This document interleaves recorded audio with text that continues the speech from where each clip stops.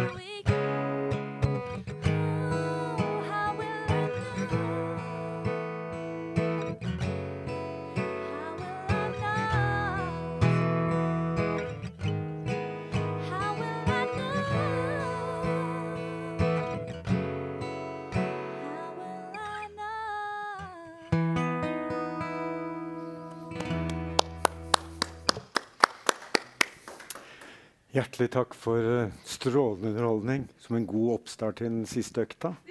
Det er undervurdert at vi skal ha litt om kjærlighet også i arbeidslivet. takk skal du ha. Og da har dere lagt merke til navnene, folkens. Sjøl om disse skal studere og være militære, og sånn, så kan det godt være at dere møter dem seinere. Takk igjen for så får vi håpe at folk der ute har vist uh, med klappetegn på Facebook eller YouTube at de likte dette her.